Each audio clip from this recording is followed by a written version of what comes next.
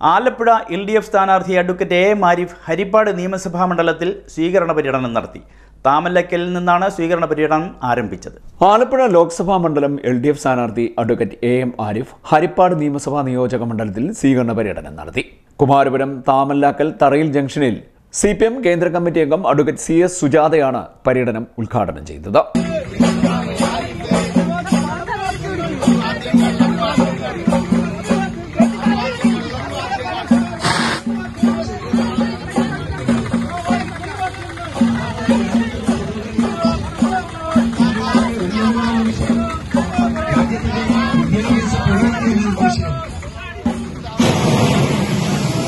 തുടർന്ന് ചെന്നാട്ട് കോളനി പഴയചിറ കാർത്തികപ്പള്ളി പള്ളയമ്പിക്കാവ് ചിങ്ങോലി വെള്ളിശ്ശേരി മുതുകുളം ആമ്പക്കുടി ലക്ഷം വീട് കൊല്ലമുറി തെക്ക് ചിങ്ങോലി കാട്ടിൽ ലക്ഷം വീട് കുഴിവേലിമുക്ക് ചേപ്പാട് ചിറ്റൂർ വഴുതാനം പള്ളിപ്പാട് അഖവൂർ മഠം അരണപ്പുറം കാർത്തികപ്പള്ളി ബദേൽ ജംഗ്ഷൻ പുത്തൻപുറം ലക്ഷം വീട് കുഴിക്കുളങ്ങര ആനാരി പള്ളിമുക്ക് ആനാരി വടക്കേക്കര കരുവാറ്റ പുത്തൻവീട്ടിൽ കോളനി കരുവാറ്റ വാഴക്കൂട്ടം പ്ലാമ്പറമ്പ് പല്ലന കുറ്റിക്കാട് പാനൂർ പള്ളിമുക്ക് ചേലക്കാട് എന്നിവിടങ്ങൾ വഴി ആറാട്ടുപുഴ ബസ് സ്റ്റേഷനിലെത്തി പെരുമ്പള്ളിയിൽ സ്വീകരണ പര്യടനം സമാപിച്ചു.